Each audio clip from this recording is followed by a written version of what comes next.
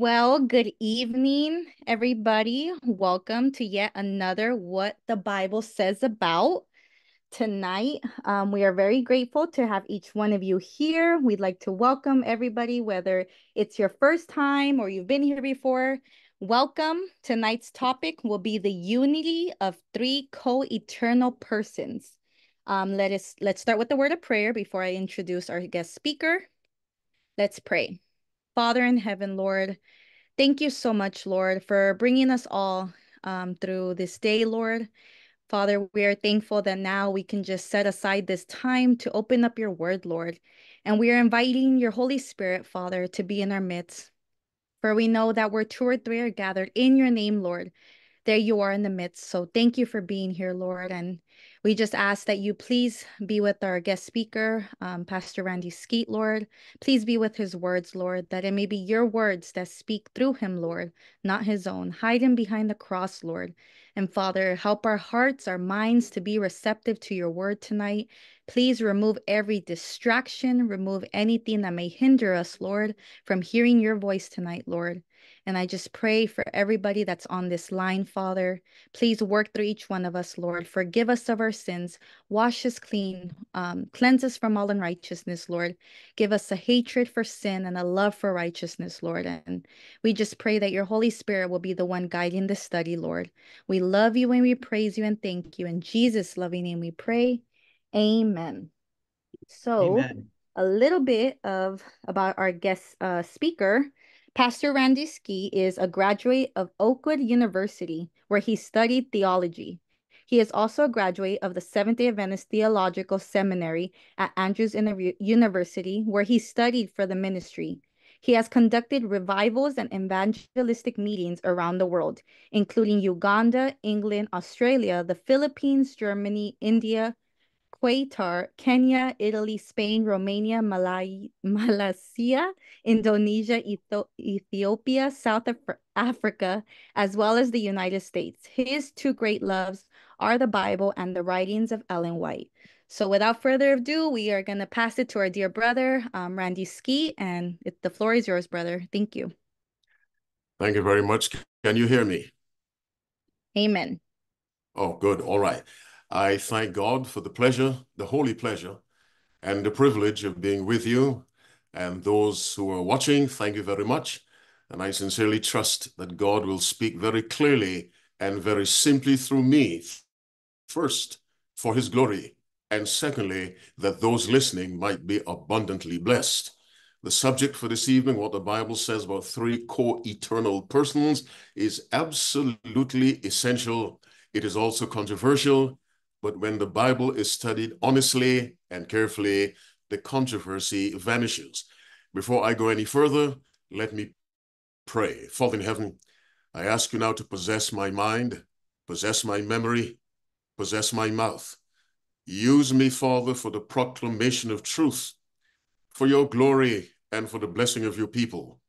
Bless everyone listening. If there are those listening who are not Seventh-day Adventists, put upon them, dear God, a very, very special blessing. If they're little boys and little girls watching, put on them a sweet blessing. And Father, at the end of this presentation, let those who've listened know that they have heard from you, not from me. In Jesus' name I pray. Amen. Amen. In discussing the subject of three co-eternal persons, or to put it in one word, the Trinity, there are some things we must keep in mind even if we're simply studying the Father or the Son or the Holy Spirit. In the book of Job, chapter 11, reading from verse 7, the Bible says, Canst thou by searching find out God? Canst thou find out the Almighty unto perfection? It is as high as heaven. What can thou do? Deeper than hell. What canst thou know? The measure of it is broader than the earth or longer than the earth and broader than the sea. This is Job trying to explain how big God is and how impossible it is for a human being to fully understand God. God cannot be fully understood, but we must make efforts within the limits of our humanity and with the aid of the Holy Spirit to understand as much of God as we possibly can. And so, as you listen tonight, continuously ask the Spirit of God to reveal to you the truth that God would have you understand. Let us begin in Genesis chapter 1, and we'll read verse 1. And I'll try to keep this as simple as I possibly can. Genesis 1, verse 1. The Bible says, In the beginning, God created the heaven and the earth. The word God, Elohim, is plural. Clearly, more than one person was involved. We have clarity on this point in verse 26. And God said, Let us make man in our image after our likeness. Let them have dominion over the fish of the sea, over the fowl of the air, over the cattle, over every creeping thing that creepeth upon the earth, over all the earth. Now, look at 26 again, and we get indications of the Trinity, even though the word itself does not occur in the Bible. But the concept of three separate personalities forming one God certainly is in the Bible. Verse 26 says, Let us, that's more than one, at least two, let us make man in our. The word our is plural. The word us is plural. But the word image is singular. Whether they're two or 2,000, they all have the same image. Whether you use the word essence in place of image or divinity in place of image, however many there are in let us and our, they all have the same image. The verse does not say, and God said, let us make man in our images, which would mean that there would be a variety of images among those who made the heavens and the earth, but they all have one image. This introduces us to the concept of many, but one. Many divine beings, but one essence, one image, one God. We do not have three gods we have three personalities, one distinct from the other, but each one fully divine. Each one possesses the God quality, if I may express it that way. And so let us make man in our image after our likeness. Now, verse 27 says, So God created man in his own image. We go from the plural in verse 26, let us, that's plural, make man in our image, that's plural. Our is plural, us is plural, image is singular.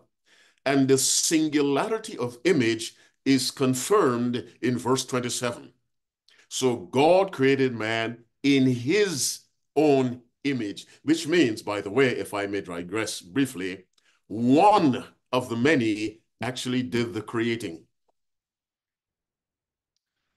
Let me pause so that sinks in. In verse 26 and verse 1, verse 1 tells us, Genesis 1, in the beginning, God created the heaven and the earth, Elohim, meaning more than one. Verse 26, let us make man in our image, us plural, our plural. But verse 27 says, so God created man in his own image. So one of the many actually did the creating, but they were all on board for creation because we read, let us make man in our image. So when one acts, that one acting represents the others. I hope I'm not going too quickly. That one acting in verse 27, so God created man in his, that singular image. In the image of God created he him. That him is the one doing the creating. Male and female created he them. So we have he, him, and his in verse 27 of Genesis 1. One of the us, one of the our actually did the creating.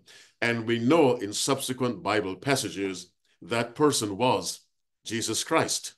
But if we go back to verse 2 of Genesis 1, Let's start from verse 1 again to make some connection. But I'll pray again. Father, as I continue this delicate subject, give me the precise language I pray in the name of Jesus Christ. Amen. In the beginning, God created the heaven and the earth. Verse 22 And the earth was without form and void, and darkness was upon the face of the deep, and the Spirit of God moved upon the face of the waters. Now, we have another member of the us identified. We have the Spirit identified in verse 2, and we have the Him in verse 27 who actually did the creating.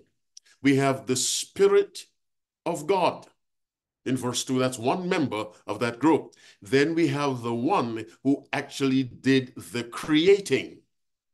We know from uh, Genesis, uh, John chapter 1, reading verse 1, or from verse 1, the Bible says, In the beginning was the Word, and the Word was with God, and the Word was God. The same was in the beginning with God. All things were made by Him, and without Him was not anything made that was made. And so, John 1, the first three verses tell us clearly there is plurality, more than one, in verse 1, also in verse 2. But we're told very clearly in verse 3 one of them actually did the creating. We read verse 10 of John 1. He was in the world, he is singular. And the world was made by him, him is singular, and the world knew him not. So we have singular. The who was in the world, we know it was Jesus Christ. And so if you go back to verse 27 now of Genesis 1, so God created man in his own image. That person who did the creating was Jesus Christ. We know from verse 2, the Spirit was there. The Spirit of God moved upon the face of the waters. Now, let's identify another person. Hebrews chapter 1, we read from verse 1. Hebrews 1, reading from verse 1. We've identified the Spirit. We've identified the active creator, Jesus Christ. We'll identify someone else. Hebrews 1, reading from verse 1. God, who at sundry times and in divers manners spake in time past unto the fathers by the prophets, hath in these last days spoken unto us by his Son. So we have God and we have the Son, whom he hath appointed heir of all things, by whom also he made the worlds. And so this tells us clearly that Jesus Christ was acting as the agent of God. Verse 2 tells us, by whom also he made the world. Christ was an agent of God. Verse 3 Who being the brightness of his glory and the express image of his person, and upholding all things by the word of his power, the Creator Christ was the express image of the one who authorized him to carry out creation. That was God. And so we have the Holy Spirit in Genesis 1 2. We have the individual member of the Godhead in verse 27 who actually did the creating. Then he's identified as the one who became flesh in John 1 1 to 3, verse 10 and verse 14. And then we discover from Hebrews 1 verse 2, he did it as an agent of the Father, an agent of God. We have Father, we have Son, we have Holy Ghost. Each one is divine. We do not have three gods any more than we have three kinds of divinity. There is one divinity. And God, knowing that humanity has limited comprehension, He gives us a symbol that we can use to help us to gain some understanding of how many can be one. We go back to the book of Genesis. We'll go to chapter 2 and we'll read from verse 21. Genesis 2, reading from verse 21. And I hope I usually ask people before I speak to ask God to put his words in my mouth. I did not do that. I was so eager to bring the truth to you, but I hope you will say from time to time, Lord, put your words in that man's mouth. That is based on Jeremiah chapter 1, verse 9. Then the Lord put forth his hand and touched my mouth. And the Lord said unto me, Behold, I have put my words in thy mouth. So ask God to put his words in my mouth. And of course, I invite you to think very rigorously as you listen to God's words. Genesis 2, reading from verse 21. And the Lord God caused a deep sleep to fall upon Adam, and he slept. And he took one of his ribs and closed up the flesh instead thereof. And the rib which the Lord God had taken from man made he a woman, and brought her unto the man. And Adam said, This is now bone of my bone, and flesh of my flesh. She shall be called woman because she was taken out of man. So we have Adam, we have Eve, two distinct separate beings, but they, they participate in one thing that is humanity. They're human. Adam is fully human, Eve was fully human. Now, verse 24 Therefore shall a man leave his father and his mother, and shall cleave to his wife, and there shall be one flesh. Adam and Eve, two distinct personalities, one flesh. Father, Son, Holy Spirit, one divinity, one God. Each one fully divine, or each one may be addressed as God, yet there's one God, one essence, one divinity. As much as Adam and Eve represented one humanity, Adam wasn't one kind of humanity and Eve another. They two were one when Cain came along. Now it became three as one. Adam was human, Eve was human. Cain was human when Abel came along. Now we have four. Adam was human. Eve was human. Cain was human. Abel was human. Several, yet there are one. In the book of Genesis, chapter 11, the story of the Tower of Babel, let's look at verse 6. God comes down to see the tower and the city which the children of men builded, and the Lord said, Behold, the people is one and they have all one language. Now, we have the word one used twice. It's the same Hebrew word echad. Behold, the people is one. That's a unified one. Of course, there might have been thousands of people. The Bible, they were one in their rebellion against God. They were one in their determination not to scatter as God had requested. They were one in purpose. They were one in rebellion. And so the Bible says, behold, the people is one. And they have all one language. So we have one use in two different ways. But the same word, echad, is the Hebrew word. One language means numerically one language. The first one, behold, the people is one. It is one mindset. It is one attitude. It is one response to God, the response of rebellion. And so we have many thousands, and they are described in the Bible as one. Let's go to John chapter 17. Let's get more evidence for the possibility of many being one. John 17, we read from verse 11. It is one of the cardinal features of the prayer of Christ in that chapter, which is called the high priestly prayer. I'm trying to keep my eyes on the time. John 17, verse 11. And now I am no more in the world, but these are in the world, and I come to thee. Holy Father, keep through thy known name those whom thou hast given me, that they may be one as we are. In other words, this concept of many being one does not only apply to the Godhead, it applies to humanity. Jesus prayed, I want them to be one, the way we are one in heaven. In verse 20 of the same chapter, he goes on, Neither pray I for these alone, but for them also which shall believe on me through their word, that they all may be one, as thou, Father, art in me and I in thee. Here again, he prays that they may be one, that they may be one in us, that the world may believe that thou hast sent me. Verse 22 And the glory which thou gavest me, I have given them, that they may be one, even as we are one. So the oneness in the heavenly family, the Father, the Holy Ghost, and the Son, must be reflected in this church. Even though we are separate members of the church, we are one in our worship of God. We are one in our obedience to his Ten Commandments. We are one in awaiting his soon return. We are one in believing his word to be absolutely reliable. We are one in believing that Christ is divine. We are one in believing that baptism is necessary. We are one. The oneness in divinity is reflected in the oneness in humanity. Why? Because God said, let us make man in our image. Part of the image of God is oneness among his people. When that oneness, and I'm digressing again, when that oneness, that unity is disturbed, the image of God is damaged.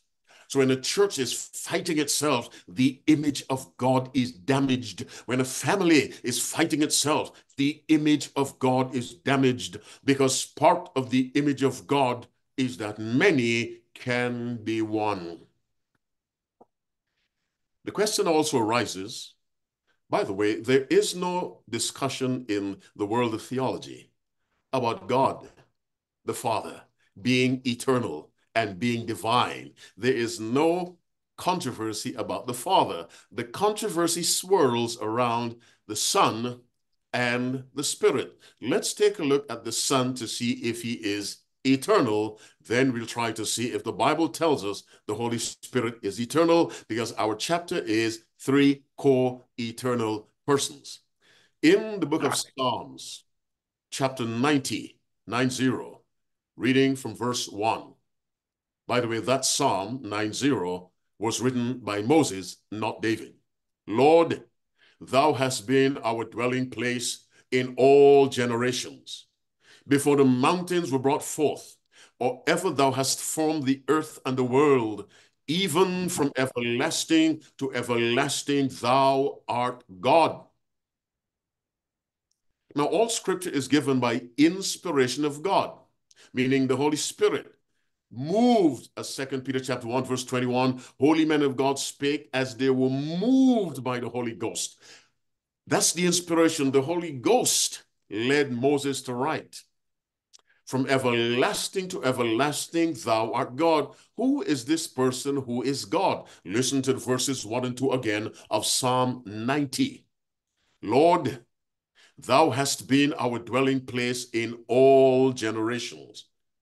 Before the mountains were brought forth, that's before creation, or ever thou hast formed the earth and the world, the question then becomes, who formed the earth and the world? This is the one Moses is referring to, of whom he says at the end of verse 2, Thou art God. But the few words before that, he said, From everlasting to everlasting, Moses is trying to express with his limited vocabulary and comprehension the eternal nature of the one who formed the earth and the world, who formed the mountains, who formed heaven and earth. He is from ever. Now, one everlasting means eternal. Moses doubles it as he tries to express to his reader that the creator of heaven and earth is an eternal being. Who is this person? We go to Hebrews chapter 1. We'll read from verse 8 of Hebrews 1. This is God speaking to the Son. Very fascinating passage of scripture. But unto the Son he saith, Thy throne, O God, is forever and ever. Did Christ have a throne before he came to this earth? Yes. The Father said, Thy throne, O God, is forever and ever, and he'll have that throne again when he comes the second time. A scepter of righteousness is the scepter of thy kingdom. Let's go to verse 10. And thou, Lord, in the beginning hast laid the foundations of the earth, and the heavens are the works of thy hand. God the Father identifies the Son.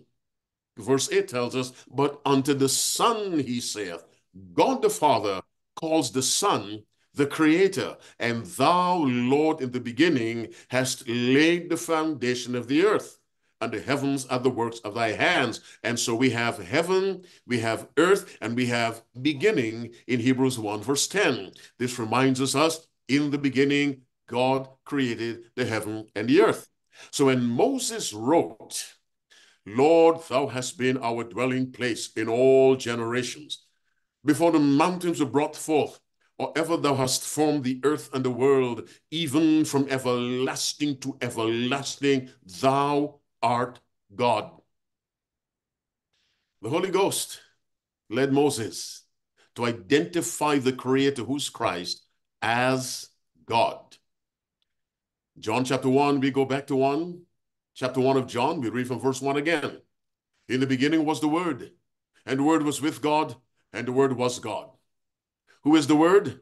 Jesus Christ tells us in John 14, verse 6, I am the way, the truth, and the life.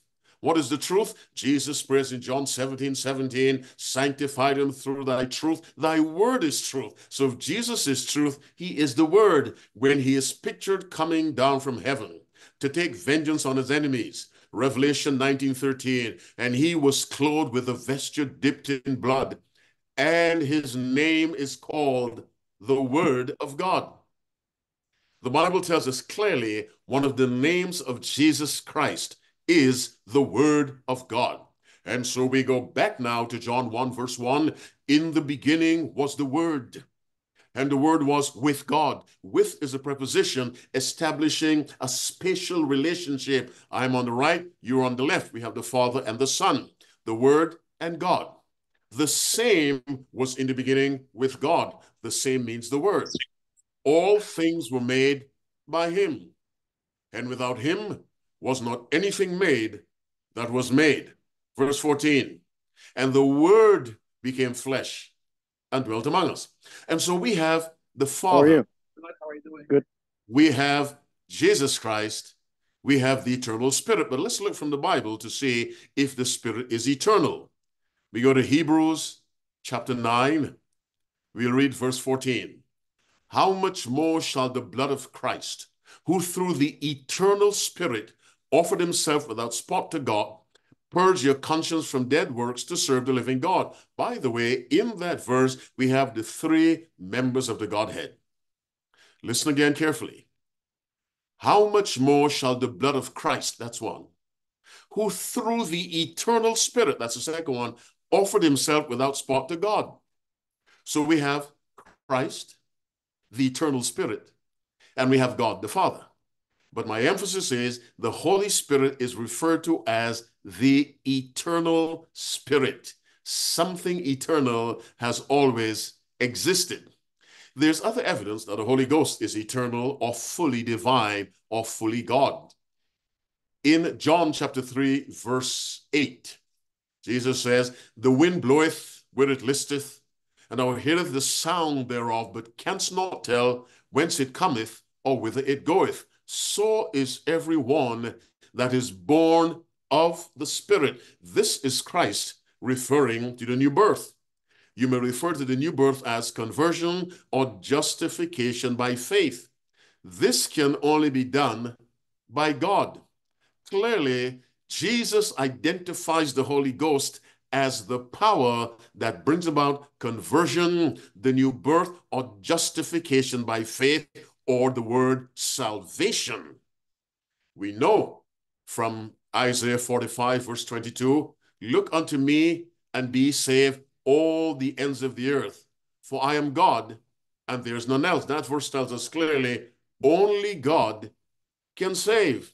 But Jesus identifies the Holy Ghost as the power in conversion, the power in the new birth. Only a divine being can bring about the new birth. The highest angel in heaven, Gabriel, cannot do that. Why? Because Gabriel is a created being. And so we have the Father, we have the Son, we have the Holy Ghost.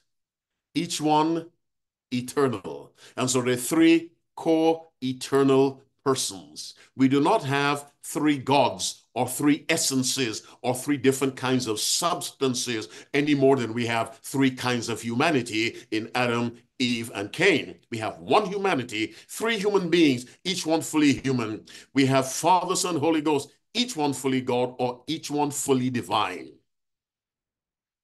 Well, let me remind you again what I said at the beginning of my remarks.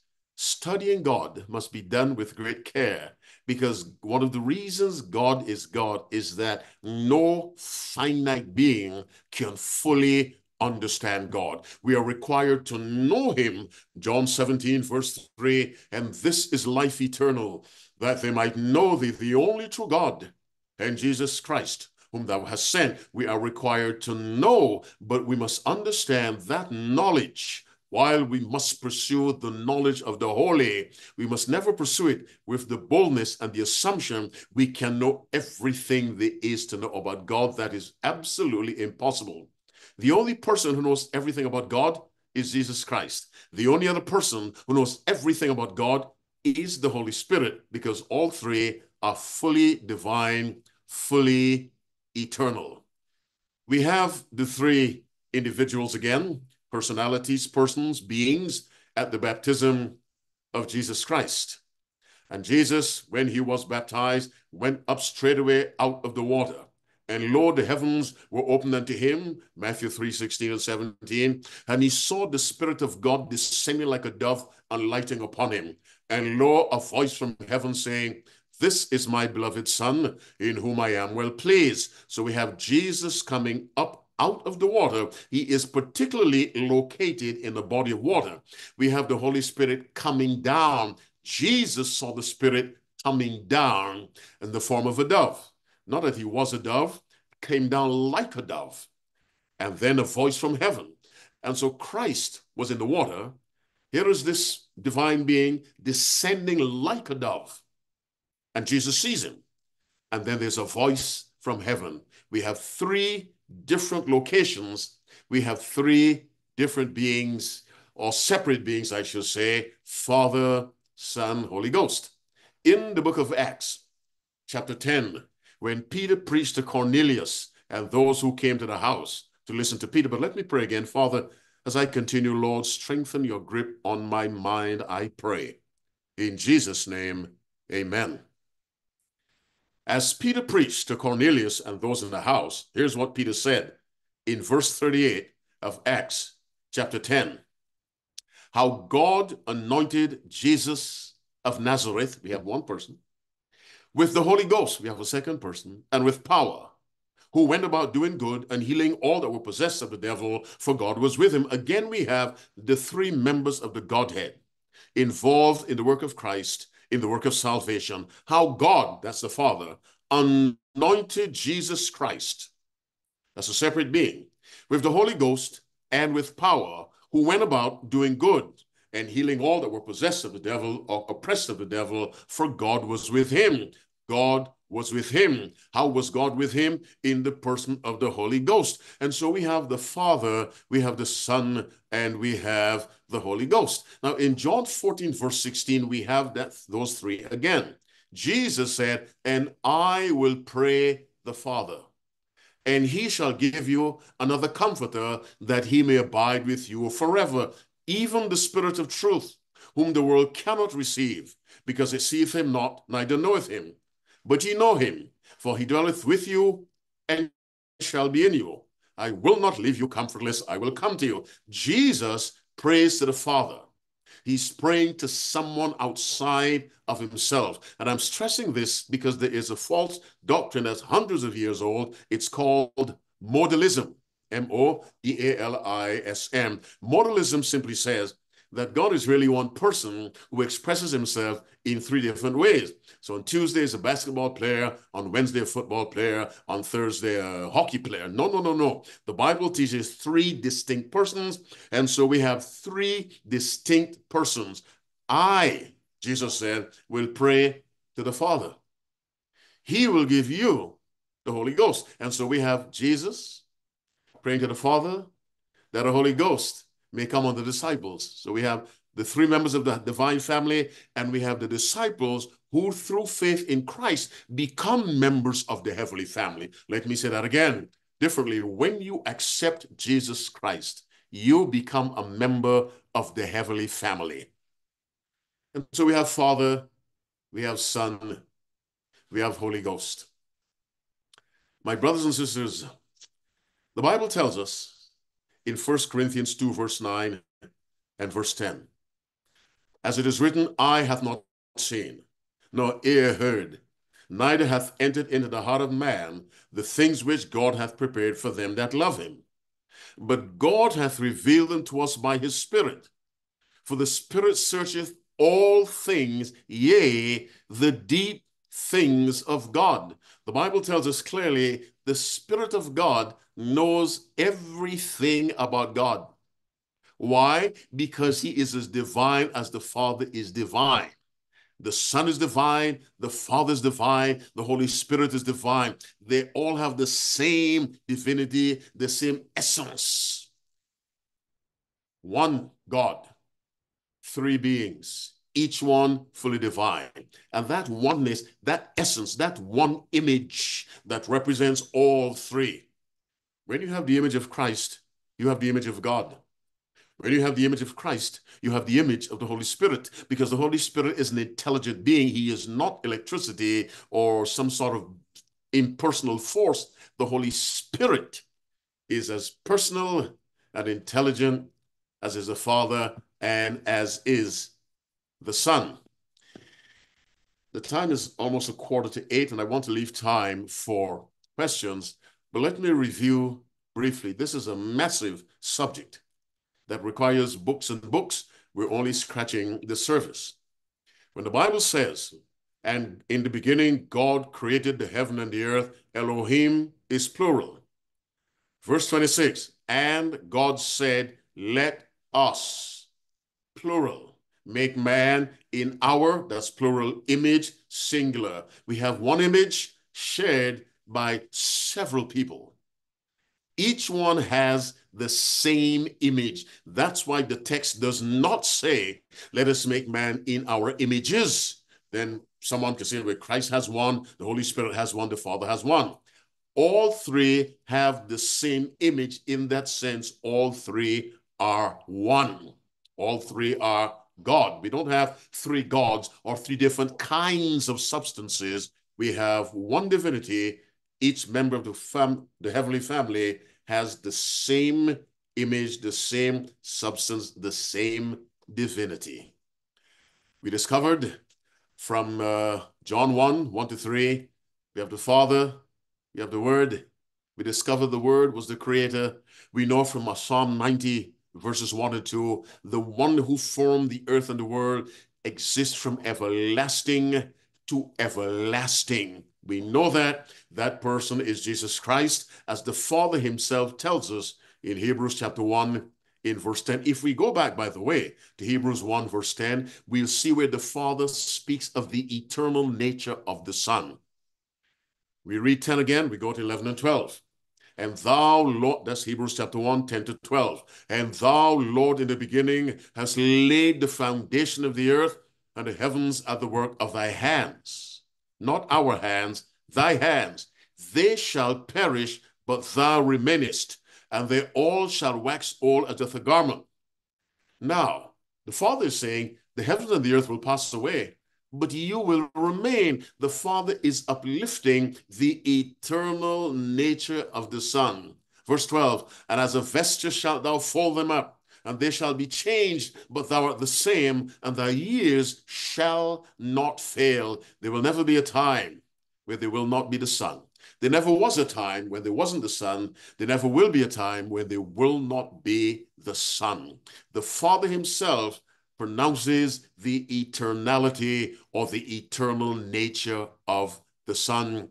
And Hebrews 9, verse 14 expresses the eternal nature of the Spirit, and no one questions the eternal nature of the Father. We have three core eternal beings. By the way, for your illumination, I urge you to read in the book Evangelism uh, the chapter which is about misconceptions about the Godhead, I believe it is chapter 148. I urge you, read that chapter for clarification, misconceptions about the Godhead. Now, before I give you time for questions, one of the reasons why it is very dangerous not to regard the Holy Ghost as fully God, the Bible tells us in Romans 8, verse 9, if any man hath not the Spirit of Christ, he's none of his. It is the presence of the Spirit in a person's life that identifies the person as a child of God. If the Spirit doesn't exist, if the Spirit is electricity, that person who believes that is in serious trouble. So if you say there's no Holy Spirit, then you're in a terrible condition because the Spirit is not in you and you cannot be identified as a child of God. I'll pause now and allow you to ask questions, but I turn it over to the moderator. But before I do, let me pray. Father, I hope that what I said under your guidance has opened the minds and the eyes of someone. to move that person to go and do his or her study of this vast and endless subject. Three co-eternal beings. As questions are posed, dear God, grant me wisdom, I pray, to answer according to thus saith the Lord. In the name of Jesus Christ, I pray. Amen. Amen. Thank you so much, Elder Skeete. You're welcome. Wonderful study. Um, you ended a little early, which is fine. We'll open up. That's okay. I know a lot of. I said, cut your sermons in half. it's okay. I know a lot of people here. I'm probably really eager to ask you questions. So, okay. if anybody would like to ask a question one by one, if you guys could raise your hand, and we will. Leland, looks like you're first. Go ahead. in Matthew 28, verse 20, where it says, Lo, I am with you always into even into the end of the world. Mm-hmm. Is that Jesus? Is that the Holy Spirit? How does Jesus do that? Well, let's read the passage, Matthew 28, reading from verse 18 to 20. And Jesus came and spake these uh, spake unto them, saying, All power is given unto me in heaven and in earth. This is Jesus. He identifies himself. I have all power.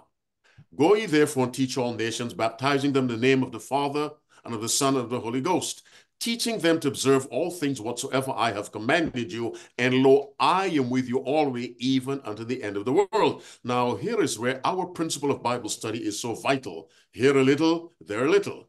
Jesus said in Matthew 28 20, I will be with you unto the end of the world. But let's go to John 14. Listen to the same Jesus speaking. And I mentioned that verse earlier. John 14, we read 16 to 18.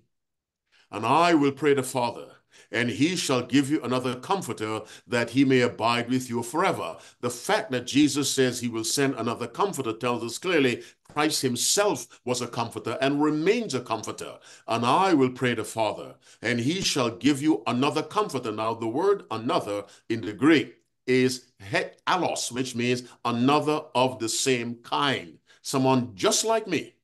There's another Greek word for another, which is uh, heteros, which means of a different kind. So a heterosexual is someone attracted to a person of a different gender or sex. But the Greek word is allos, meaning a comforter of the same kind, just like me. And I will pray the Father, and he shall give you another comforter that he may abide with you forever, even the Spirit of truth, whom the world cannot receive, because they see him not, neither knoweth him. But ye know him, for he dwelleth with you and shall be in you. Then Jesus says, I will not leave you comfortless. I will come to you. Well, if he said in verse 16, he'll pray the Father to send another comforter, which is the Holy Ghost, just like me, then he says, I will not leave you comfortless. It is clearly he's saying, I will come to you in the person of the Holy Spirit. The Bible refers to the Holy Spirit as the Spirit of Christ also the Spirit of God. Romans 8, verse 9, he's called both. And so Christ will be with the church in the person of the Holy Spirit. Because when you have the Spirit, you have Christ, the life of Christ. It is the Spirit that makes effective the merits of Christ's intercession and atonement. It is the Spirit that applies them in our lives. Amen.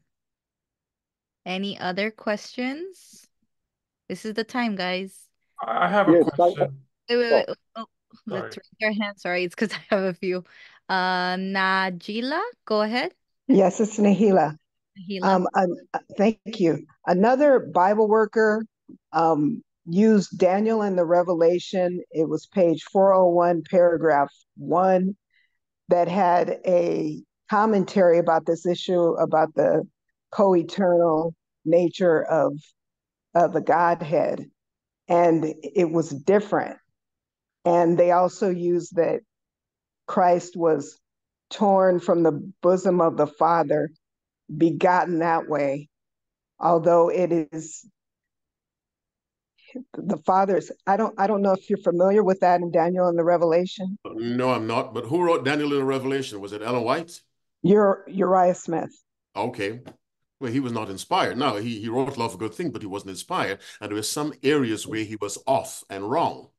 And so clearly, if he does not regard Christ as fully eternal and God, he's off on that point. So you cannot take that as an authoritative statement that Christ is less than God or less than eternal. We go to the Bible first to prove the eternal nature of Christ, not uh, Uriah Smith, an uninspired person, but a child of God. Don't misunderstand me, a child of God. But we, if we have to go to a human source, we go to the one who received direct revelation from God. That's Ellen White, and she tell read Evangelism, chapter one forty eight. Your eyes will be open wide.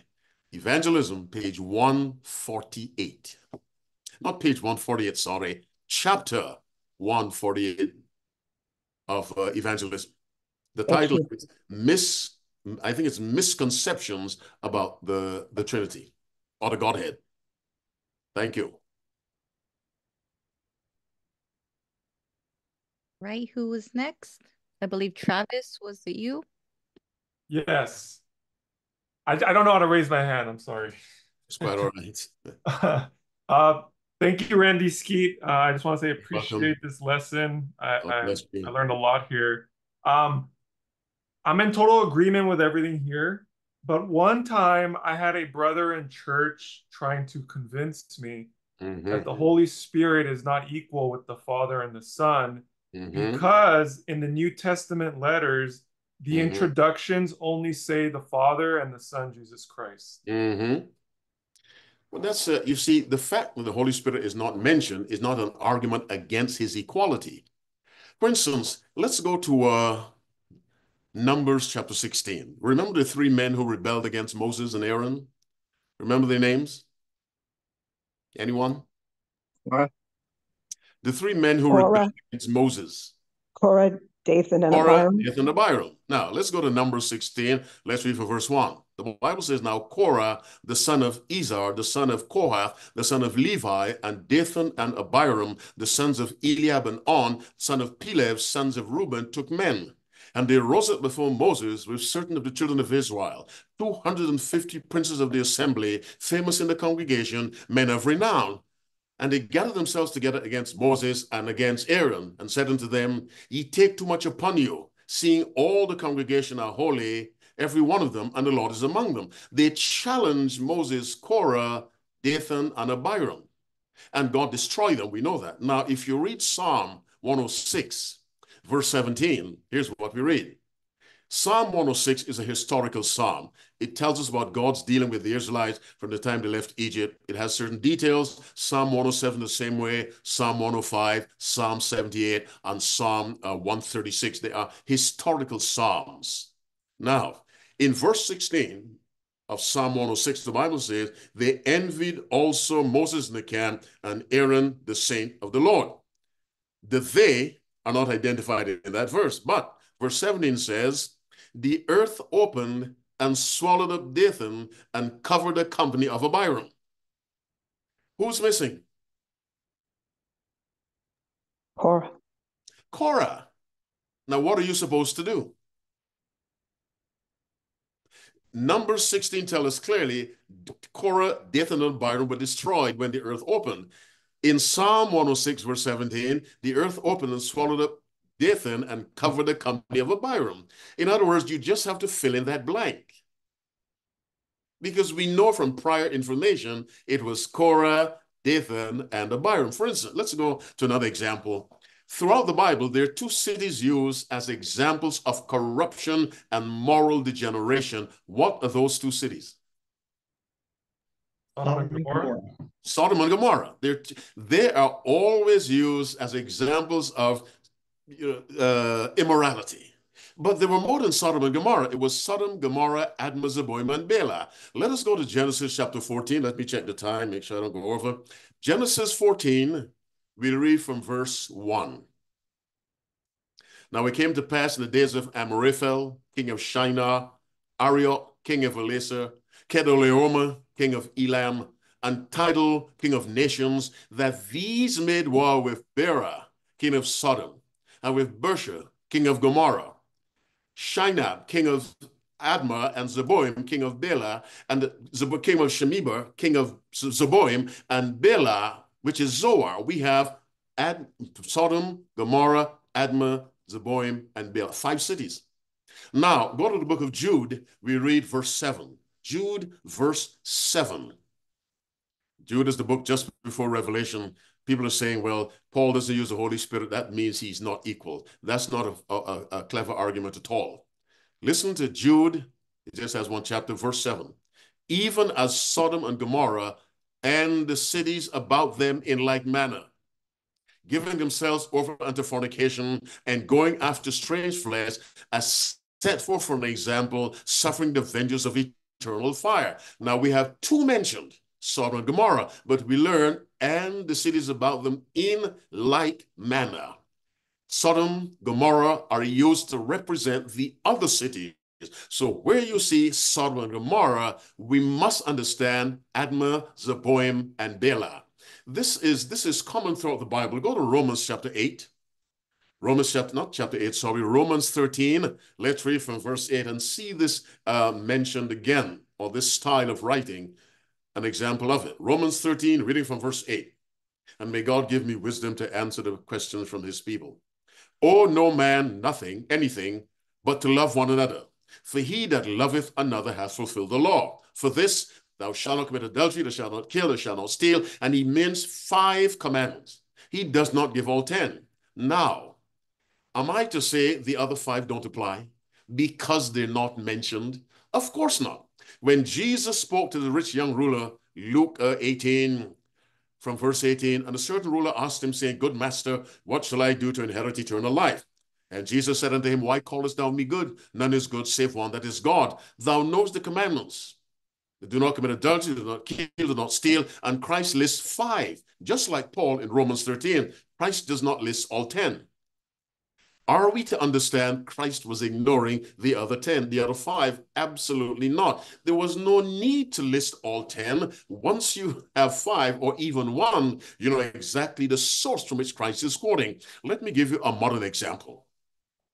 You're on Pacific time, I'm on Eastern Standard Time. So it is, let me see, what time is it here? It is three minutes to 11 where I am, three minutes to eight where you are. Now, if someone were to say, I want you to identify this state, I will name some cities. The person says Los Angeles. He or she does not have to say anything else. The response will be immediately California. He does not have to say San Diego, you know, Sacramento, Fresno, Oakland, San Francisco. Mm, he does not have to do that.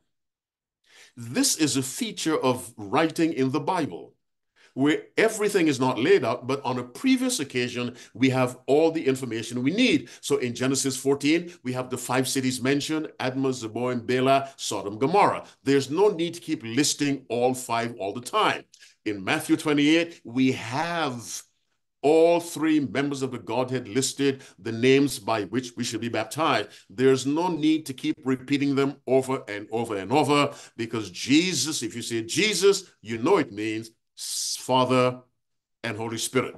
When Christ only quoted five commandments, we know he meant all 10. When Paul in Romans 13 only mentioned five commandments, we know he meant all 10. When the psalmist says, Death and Abiram was swallowed up in the earth, we know he meant Korah, even though Korah is not mentioned, because earlier we were told it's Korah, Dathan, and Abiram. We have to reason when we study the Bible Come now, let's reason together, putting verse to verse to fact that the Spirit is not mentioned is no evidence that the Spirit is not equal with Father and Son. They are all fully divine because only the Spirit can bring about conversion. Only God can do that. The Spirit is fully God. Next question. Go ahead, Lucas. Thank you. Uh, thank you, uh, Pastor Skid, yes. uh, for presentation. And uh, and taking my question, Go ahead. which is um, a Job twenty six thirteen. Uh, mm -hmm. trying to understand how it uh, co aligns with Jesus Christ being, and I don't know if I can say the only creator, uh, as the mm -hmm. Bible is saying God is the creator. And mm -hmm. this verse, uh, the Spirit of God has made me, the mm-hmm. breath of the Almighty gives me life. -huh. And then there is also um, uh, oh, I think I read that was Job 33 4, Job 26 13. Mm-hmm. By his spirit adorned the heavens. Mm-hmm. Uh, here making a reference to the Holy Spirit um, being a creator. If you mm -hmm. may mm-hmm. uh, please address these verses, I appreciate it. Well, go to Psalm 104.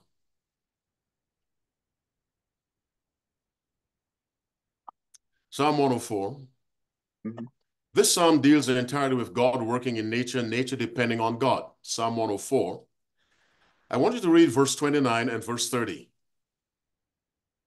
Okay, I'm reading from NIV. All right. And it reads, mm -hmm. He mm-hmm. made the moon to mark the seasons. Psalm the... 104, verse 29 and 30. Oh, excuse me, I was reading 19. Okay. Uh, when you hide your face, they uh -huh. are terrified. When mm -hmm. you mm-hmm. take away their breath, they die and return to the dust. Mm -hmm. Send your spirit, they are created. Ah, pause now there. Thou sendest forth thy spirit. They are created. The spirit can create. God the Father can create, the Son can create, but the central figure in creation is Jesus Christ. That's why I took you to Hebrews 1 from verse 10 and thou lord in the beginning hast laid the foundation of the earth. But the the ability to create is available to father son and holy spirit because one of the the thing that god uses to distinguish himself from all other false gods is that he can create. Whether it's father son holy ghost each one can the false gods cannot create. So the power to create is the preeminent defense of god's divinity. And both the father the, all three father can create Son can create, Holy Spirit can create. And ultimately, salvation is the highest form of creation. And that involves all three. Salvation is the highest form of creation, and that involves all three. That's why we're baptized in the name of the Father, Son, Holy Ghost. Thank you. If you read Ephesians, go to Ephesians chapter 3 quickly. I don't want to use up your time, and my sleeping time is upon me. Go to Ephesians 3. Let's read verse 9. You can go on night. Mm-hmm. Okay. It reads, uh-huh. and to make plain to everyone the mm-hmm. administration mm-hmm. of this mystery, mm-hmm. which for ages past was kept hidden in God, who mm-hmm. created all things. Keep reading. Ah, but, but it doesn't say by Jesus Christ. That's why that version must be watched very carefully. You read the King James, who created all things by Jesus Christ. You mm. cannot leave Christ out. He's the central figure of creation, but the ability to create is an ability that God has with the Father, Son, Holy Ghost. Mm -hmm. Yes, I, I see it in the New King James. Oh, yes, but you've got to be careful with that NIV. I'm not passing judgment, I'm just giving you a word of caution. It was okay. just the first uh, translation available in Bible Gateway. Okay, okay. God bless you. Thank, likewise, thank you, Pastor. Well, it is now 11, uh, well, not 11.03 with you, 8.03, so we time, time to wrap it up. Thank you very much. God bless you for loving his word. I really mean that sincerely. Before I go, my brother, you're on the screen. Go to Matthew 12. Let me leave a parting word for God's people, a warning. Matthew 12, we read 32 and 33 as we conclude, and I want to highlight the Holy Spirit. He's the one who's called electricity and energy and all sorts of things. Matthew 12, 32 and 33. Anyone who speaks a word against the Son of Man, it will be yes. forgiven him. Mm -hmm. But whoever speaks against the Holy Spirit, it will not be forgiven him, either mm -hmm. in mm-hmm. this age or in the age to come. Yes. No, that's and fine. It should be 31, 32, but that's fine. So okay. we've got to be very careful what we say about the Holy Spirit because he's easily offended. He is presented as being easily offended. Whosoever shall speak a word against the Son of Man, it shall be forgiven him. But whoever speaketh against the Holy Ghost, it shall not be forgiven him, neither in this world, neither in the world to come. And so, my dear brothers and sisters, be careful what you say about the Holy Spirit, because I think verse 36 is every idle word we shall speak in that same chapter, verse 36, we shall give account thereof in the judgment. So may the Lord bless you as you realize that the Father sent the Son, the Son came and died, and the benefits of his sacrifice are applied to us by the living, intelligent Holy Spirit. Only divine beings can accomplish that plan of salvation. God bless you. Put a double blessing on your children. Amen. Thank you, guys. Sorry, that will be it for tonight, guys. Questions, keep it for God willing next time. Um, we will close out with the word of prayer. Thank you again, Pastor um, Elder Ski. Um, we were very blessed by your study tonight, and by the grace of God, we hope to have you again someday soon if God permits. Um, let's bow for a word of prayer.